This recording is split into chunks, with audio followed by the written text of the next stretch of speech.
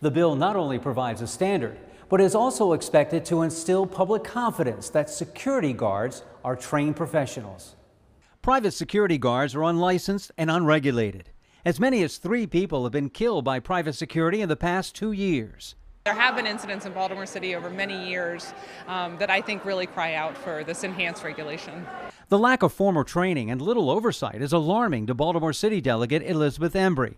She introduced legislation to do something about it. We just want to make sure that um, anyone who's interacting with the public in a way that they may use force against them, weapons or just restraint, physical restraint, that the public has some confidence that there has been some certification process, background check, making sure that they um, are adequately trained and supervised. The legislation requires all security guards in Maryland, regardless of their employer, to be licensed by the state.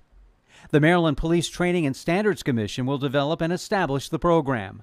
The 12 hour training curriculum would include the appropriate use of force, de escalation tactics, and basic criminal law. There's also a requirement to report the use of force to state police within 48 hours. This is looking at the private security guard industry and looking at what other states have done. A House committee heard testimony on the bill today, and no one signed up in opposition. The legislation is cross-filed with City Senator Jill Carter. A hearing on that bill is scheduled tomorrow. Reporting from Annapolis, David Collins, WBAL TV 11 News.